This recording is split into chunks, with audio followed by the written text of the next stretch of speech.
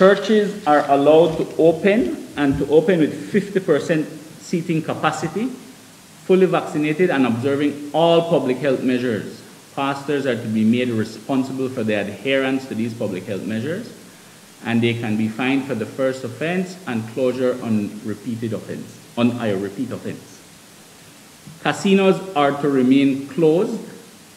Competitive sports are to be allowed with fully vaccinated persons only, and this will, this will commence or will come into effect on the 20th of October 2021. BPOs are to operate at 50% of staff and with staff who are fully vaccinated.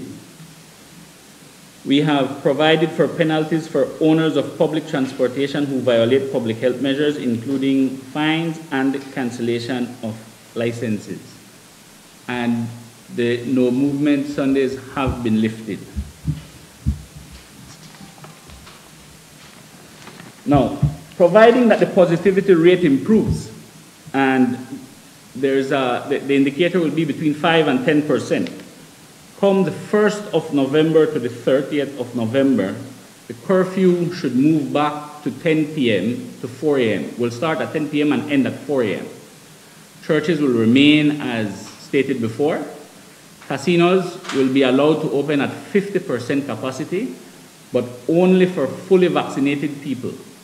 This is to be enforced by the proprietor and random checks by the COVID enforcement unit.